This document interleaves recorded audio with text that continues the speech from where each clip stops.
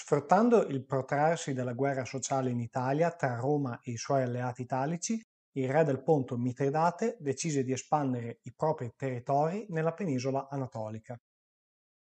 Il suo espansionismo fu anche facilitato dal malcontento delle popolazioni locali nei confronti della rapacità degli esattori delle tasse romani. In breve tempo Mitridate occupò l'intera penisola anatolica, tranne l'isola di Rodi, che rimase fedele a Roma, e ordinò lo sterminio di 80.000 italici presenti nella penisola. Il Senato romano reagì nominando il console Silla governatore delle province d'Asia, col compito di ripristinare il dominio romano su quelle regioni. Mitridate stava lentamente allargando il proprio consenso a tutta la Grecia. Atene stessa, sotto la guida di Arestione, era passata dalla parte dei Pontici. Il re del Ponto aveva poi inviato un'armata al comando del genero Archelao in Grecia per consolidarvi la propria influenza. Quest'ultimo era stato affrontato dal vicegovernatore Quinto Bruzio Sura, senza però che nessuna delle due parti prevalesse sull'altra. In Italia i dissapori tra ottimati e populares non furono messi da parte a causa della guerra, anzi Gaio Mario, leader della fazione popolare, convinse il tribuno Publio Sulpicio Rufo ad annullare la nomina di Silla come comandante della spedizione in Asia per ottenerne lui stesso il comando. Silla a questo punto prese una decisione senza precedenti, radunò sei legioni e marciò verso Roma violandone il perimetro sacro per ripristinare l'ordine nella capitale. Dopo aver cacciato Gaio Mario e riottenuto con la forza il comando della spedizione asiatica, Silla ripartì per l'Oriente con cinque legioni. A settembre dell'87 a.C., appena riorganizzate in Grecia le proprie forze, il generale mosse verso Atene ricongiungendosi con le truppe di Sura. Una volta approssimatosi alla città, divise il suo esercito in due. La prima metà avrebbe assediato Atene, in cui era asseragliato Arestione, mentre la restante parte fu destinata ad assediare il Pireo, tenuto da Archelao. La presa del Pireo era fondamentale per il successo dell'assedio di Atene, poiché proprio dal mare la città ricavava le vettovaglie necessarie al prolungamento della propria resistenza. Silla ordinò di raccogliere i tesori custoditi nei tempi greci per finanziare la propria campagna, con la promessa che sarebbero tutti stati restituiti a fine guerra. Poi procedette a circondare la città di Atene di fortificazioni, per impedire ai cittadini di lasciare la città, aggravandone così il problema della mancanza di viveri. Egli procedette poi a demolire il muro di collegamento tra Atene e il Pireo. In quest'ultima zona lo scontro divenne particolarmente duro, per il vigore con cui gli assediati opponevano resistenza ai Romani. L'assedio continuava, quando Mitridate inviò un nuovo esercito a invadere la Macedonia, col compito poi di dirigersi a sud per dar manforte agli assediati che iniziavano a risentire della carestia dovuta al blocco dei rifornimenti imposto da Silla.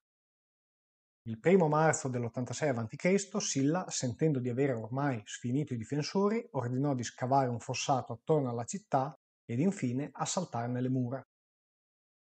L'assalto ebbe successo e i romani procedettero allo sterminio degli ateniesi, colpevoli di aver sposato la causa del re del Ponto.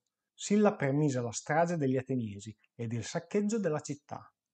Il generale romano infine stabilì la pena di morte per il tiranno greco e per tutti quelli che, avendone l'autorità o lo status di cittadino romano, si erano ribellati alle leggi provinciali romane. Il generale chiese poi come risarcimento del danno di guerra circa 20 kg d'oro e 600 libre d'argento, prelevandole dal tesoro dell'Acropoli. Archelao intanto si barricò nel Pireo, ma Silla lo incalzò veementemente, spronando e dando coraggio ai suoi uomini per un ultimo assalto. I romani non si fermarono e costrinsero Archelao e i resti del suo esercito ad imbarcarsi sulle navi pontiche ormeggiate nel porto e a ricongiungersi all'esercito pontico che stava muovendo in loro soccorso presso le Termopili. Il primo tempo della guerra mitridatica aveva sorriso a Silla, che ora però si vedeva incalzato da un grosso esercito nemico in marcia proprio verso le sue truppe.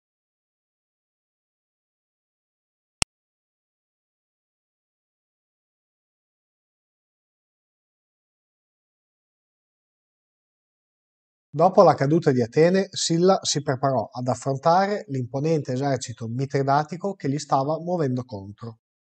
Comandati dal generale Tassile e rinforzati dai contingenti fuggiti dal Pireo comandati da Archelao, i pontici avevano radunato un esercito di 120.000 uomini, di cui 10.000 cavalieri.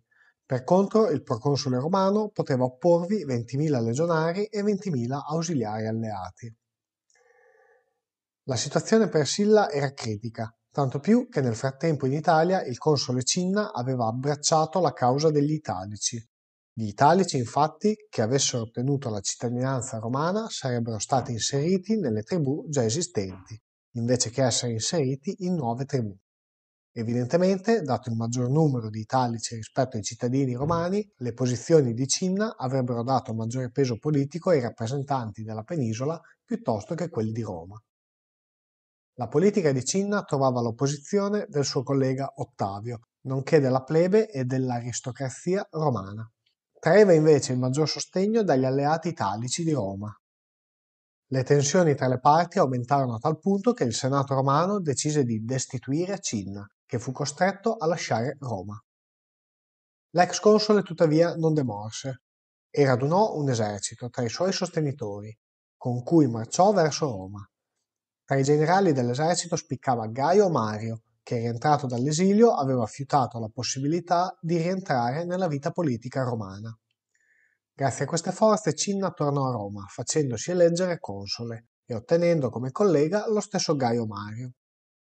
Il partito antisillano era quindi al potere a Roma, quando il proconsole si accingeva ad affrontare l'esercito mitridatico presso Cheronea. Il luogo dello scontro scelto da Silla era la valle del fiume Cefius, tra i monti Acontium ed Edilium. Silla fu informato da alcuni abitanti di Cheronea della possibilità di occupare le alture che scendevano a strapiombo sulla destra dell'esercito mitridatico. Così il generale romano, consapevole dell'importanza strategica di questa posizione, vi inviò un contingente. Occupate queste alture, i romani iniziarono a bersagliare con massi e pietre i pontici, costringendoli a retrocedere dopo aver perso circa 3.000 uomini. Silla schierò poi le legioni disponendo ai lati le proprie cavallerie. Egli si pose quindi al comando dell'ala destra, mentre lasciò a Murena l'ala sinistra, mentre Galba ed Ortensio furono lasciati con alcune corti in riserva per impedire movimenti aggiranti del nemico. Fu questa una delle prime volte in cui si assistette allo schieramento di una riserva tattica nel corso di una battaglia. Silla era consapevole del grande spazio necessario all'esercito pontico per schierare le proprie truppe efficientemente. I pontici infatti, oltre che di una numerosa cavalleria, disponevano anche di carri falcati. Il proconsole romano sfruttò l'iniziale confusione dell'esercito avversario per fare coprire il terreno che separava i due eserciti alle sue truppe. Incalzati dai Romani, i pontici, che non si aspettavano di dover dare battaglia quel giorno, uscirono dagli accampamenti e si schierarono velocemente. Tassile, per rompere lo schieramento romano, inviò i carri falcati contro le legioni, ma queste lasciarono passare i carri tra le loro fila per finirli a colpi di giavellotto nelle retorie.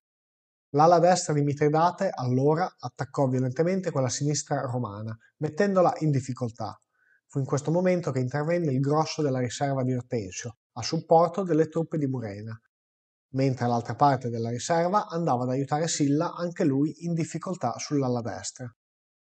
Lo scontro si era stabilizzato ed i romani avevano annullato il vantaggio numerico dei pontici. Si era giunti al corpo a corpo e fu in questo momento che la maggiore preparazione ed addestramento dei romani ebbero la meglio. I pontici cominciarono a perdere terreno su tutta la linea e ripiegarono verso il loro accampamento. I romani incalzarono i nemici così da vicino che riuscirono a penetrare nel loro accampamento, facendone strage. Si stima che l'esercito di Mitridate perse circa 100.000 uomini, mentre i romani lasciarono sul campo un numero insignificante di caduti. La situazione politica a Roma tuttavia non lasciava tranquillo Silla. Infatti, pochi mesi dopo la sua nomina, il console Gaio Mario morì e Cinna fece nominare al posto del defunto Lucio Valerio Flacco, che inviò con due legioni in Oriente. Il compito di Flacco non è ben chiaro, sta di fatto che Silla gli mosse incontro e Flacco, le cui truppe simpatizzavano per Silla, decise di unirsi all'esercito del proconsole. Silla inviò quindi Flacco in Asia Minore per portare la guerra direttamente nel territorio nemico, mentre egli avrebbe affrontato i pontici che si stavano riorganizzando in un grande esercito presso Orcomeno.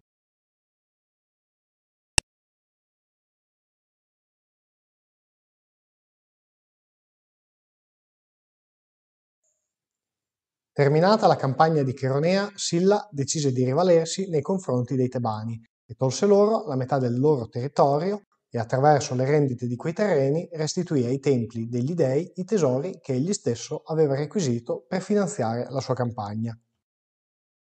Nel frattempo, però, un esercito mitridatico al comando del generale Dorilao era approdato in Calcide con 80.000 uomini, ben addestrati e disciplinati, che si erano uniti ai 10.000 sopravvissuti della battaglia di Cheronea che erano fuggiti al comando di Archelao. Archelao consigliò al generale di non affrontare i romani direttamente, ma vista la precarietà della loro logistica, di logorarli lentamente. Fu così che Dorilao decise di accamparsi nella piana di Orcomeno, un luogo che avrebbe facilitato la manovra dei propri cavalieri e dei propri carri falcati in caso di scontro coi romani. Silla però voleva terminare la campagna asiatica e raggiunse il rivale accampando il proprio esercito di fronte a quello avversario. Il generale, consapevole della superiore mobilità dell'esercito avversario, ordinò lo scavo di due larghe trincee che racchiudessero il campo pontico. Questo lavoro aveva il fine di annullare la superiorità della cavalleria pontica e giungere allo scontro attraverso un assalto delle fortificazioni nemiche, ingaggiando il nemico corpo a corpo, specialità nella quale i romani eccellevano. I pontici capirono le intenzioni dei romani ed assaltarono violentemente i legionari intenti a scavare le trincee. I romani inizialmente cedettero terreno ed erano anche sul punto di ritirarsi disordinatamente. Sono proprio questi però i momenti in cui i grandi generali dimostrano le loro doti. E così fu per Silla, che per ridare animo ai suoi uomini scese da cavallo ed afferrò una insegna, per poi dirigersi nelle prime linee, gridando, rivolto ai suoi uomini, a me, Romani, l'onore di morire qui. Voi, se vi chiederanno dove avete abbandonato il vostro comandante, ricordatevi di rispondere a Orcomeno. I legionari si vergognarono della propria codardia e tornarono a combattere seguendo l'esempio del comandante. Lo scontro volse velocemente a favore dei romani, che respinsero gli assalitori, per poi tornare a concludere lo scavo dei fossati. In questi scontri i pontici persero più di 10.000 uomini, mentre i romani poche centinaia. Con quest'opera, ancora una volta, Silla era riuscito a conseguire il vantaggio tattico sull'avversario, annullandone il vantaggio numerico. I pontici erano ora costretti in uno spazio limitato, in cui non potevano fare valere la loro superiorità numerica. Intanto al campo romano venivano ricevuti i senatori costretti alla fuga da Roma, per via del governo di Cinna. Sempre più Silla veniva ad essere il punto di riferimento della fazione degli ottimati che vedevano in lui il leader che avrebbe potuto sconfiggere il partito dei Populares, allora al governo di Roma, oltre che l'uomo che potesse ristabilire un governo legittimo della città, poiché il console Cinna deteneva il governo oramai da tre anni, senza che fossero state indette elezioni nella capitale.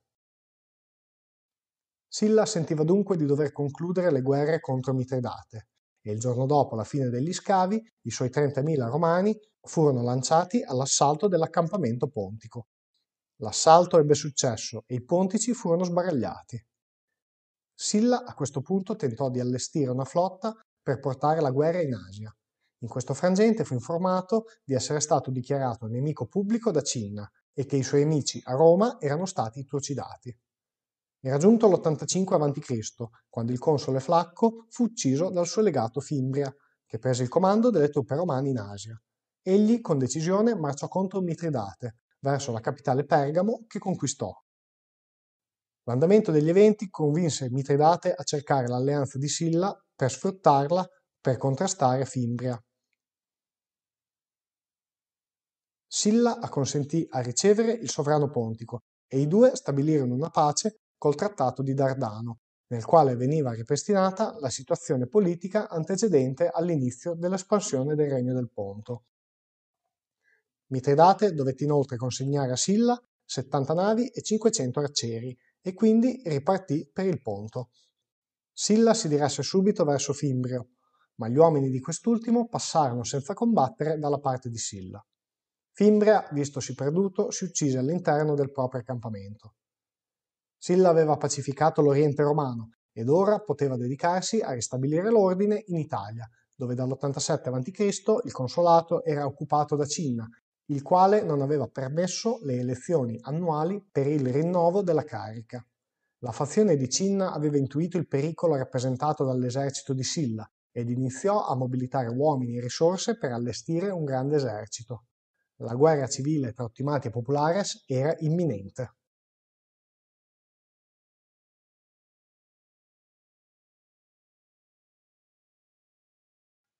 Dopo aver sconfitto Mitridate e ripristinato il dominio romano in Asia, Silla si stava organizzando per portare il suo esercito in Italia. Nella penisola gli umori erano contrastanti. Mentre il Senato era aperto alla mediazione, i consoli erano decisamente schierati per la guerra ed avevano iniziato a trasportare le truppe in Croazia per fronteggiare l'esercito di Silla. L'esercito però non era contento di dover combattere contro compatrioti che si erano coperti di gloria. Il malumore sfociò in una rivolta in cui perse la vita il console Cina in persona. Silla intanto si era procurato la flotta necessaria a tornare in Italia con le sue truppe Egli, da abile diplomatico, fece precedere il suo arrivo da diplomatici per assicurare gli italici circa le sue intenzioni al rispetto di tutti i diritti acquisiti dai cittadini, vecchi o nuovi che fossero. Offrì ai senatori protezione per mezzo del suo esercito, domandando in cambio di riavere le proprietà che gli erano state confiscate e che gli fosse restituita la carica di augure che Mario gli aveva tolto illegalmente. I negoziati però fallirono e Silla attraversò la Grecia, imbarcò l'esercito a Durazzo e sbarcò a Brindisi senza trovare resistenza. Le cinque legioni a disposizione di Silla superavano i 40.000 uomini, ma i suoi avversari disponevano invece di un esercito molto più numeroso, arrivando a contare, secondo alcune fonti, ad oltre i 200.000 uomini. Tuttavia questi erano inesperti e di dubbia fedeltà. Tra i Sillani si contavano pure i comandanti migliori del tempo, come Metello Pio, Marco Licinio Lucullo, Marco Licinio Crasso e soprattutto Gneo Pompeo. Per il consolato dell'anno 83 i Mariani avevano scelto Lucio Cornelio Scipione, esponente in Senato dell'ala moderata, e Caio Norbano, uno dei cittadini di acquisizione recente. Erano state affidate loro due armate con cui opporsi a Silla. Il primo scontro avvenne alle pendici del Monte Tifata, in cui le truppe raccogliticce di Norbano cedettero e ripiegarono verso Capua. L'esercito mariano lasciò sul campo 13.000 uomini, a fronte di perdite rilevanti tra i Sillani. Silla e Metello marciarono allora contro l'alto console. Scipione si disse favorevole a un negoziato e i due generali raggiunsero un accordo, che il console inviò al collega per essere ratificato anche da lui. Tuttavia l'accordo fu trasportato da Quinto Sertorio, un accanito antisillano, che sulla strada per Capua attaccò il presidio sillano di Suessa Aurunca, rompendo così la tregua tra le parti. Riaperte le ostilità, Scipione realizzò che in tutto quel tempo Silla aveva introdotto dei propri uomini all'interno dei propri accampamenti, per fomentare la sedizione dell'esercito consolare. Così i 25.000 uomini al servizio di Scipione passarono dalla parte di Silla. Scipione, liberato, si diresse a nord, dove comandò le operazioni contro Pompeo, per finire ancora una volta battuto e costretto all'esilio. Silla, parallelamente alle operazioni militari, proseguiva le azioni diplomatiche, per attirare a sé l'appoggio degli italici. Gli unici non contattati furono i Sanniti, già vittime del generale durante la guerra sociale, e da cui non si aspettava di trarre benevolenza. Giunti a questo punto Silla controllava il Piceno, la Puglia e la Campania, mentre il resto d'Italia e tutta la Gallia Cisalpina erano schierate con il governo centrale. Per il consolato dell'82 furono scelti Papirio Carbone, divenuto capo della fazione mariana, e Caio Mario Juniore, il figlio dell'Arpinate. La scelta di Mario portò la partenza di Quinto Sertorio, che partì alla volta della Spagna. La partenza di Sertorio priverà il partito mariano di uno dei comandanti più competenti tra le loro fila. Poco dopo Metello sconfisse lungo il corso dell'Esino uno dei legati di Carbone e Pompeo batté lo stesso Carbone obbligandolo a ripiegare verso Rimini. Intanto Silla marciava verso Mario, ingaggiando battaglia su terreno sfavorevole, presso Preneste. Qui Mario in un primo momento respinse i Sillani, Poi quando cinque corti del suo esercito passarono a Silla, le sue forze ripiegarono su Preneste, dove furono assediati dopo aver perso 20.000 uomini.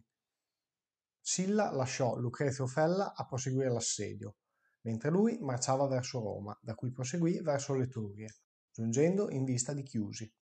Egli mirava a conquistare l'Etruria, l'Umbria e la Gallia Cisalpina, ancora in mano mariana. Intanto Pompeo batteva un'altra armata nemica presso Spoleto, mentre Quinto Metello Pio era sbarcato a Ravenna per affrontare Caio Norbano. I Mariani, per risollevare il morale delle loro truppe, decisero di liberare Preneste e fecero convergere due armate, una al comando di Censorino e l'altra da sud, composta di Lucani e Sanniti. Contro il primo esercito mosse Pompeo, che uscì vittorioso dallo scontro. La seconda armata era, per il momento, bloccata da Silla in persona, cui truppe, schierate in posizione forte, non potevano essere sloggiate. Caio Mario Juniore, da parte sua, tentò una sortita, venendo respinto, mentre Norbano, venuto sonoramente battuto da Metello Pio, scappò a Rodi. Papirio Carbone rischiava ora di essere preso in mezzo tra l'esercito di Metello e le forze di Silla. Vista la situazione, pensò bene di rifugiarsi in Africa. A difendere la causa mariana non restava che l'ultima armata, composta di Lucani e Sanniti. Questi, bloccati da Silla, decisero di muovere verso Roma per attirare il generale in campo aperto, dove avrebbero potuto giocarsi le sorti dello scontro in un'unica battaglia. Erano le calende di novembre, quando, a meno di due chilometri da Porta Collina, si accampò l'ultima grande armata mariana. Silla giunse ad affrontare l'armata mariana schierando sulla destra le truppe al comando di Marco Licinio Crasso, mentre Silla stesso comandava l'ala sinistra. I mariani avevano disposto alla sinistra i reduci delle armate sconfitte, mentre sulla destra furono posizionati i Sanniti, acerrimi nemici di Silla. I due eserciti si scontrarono e presto le truppe di Crasso misero in fuga quelle dei legionari mariani, mentre sulla destra dello schieramento sillano i Sanniti respinsero i legionari di Silla, che ripiegarono verso Roma.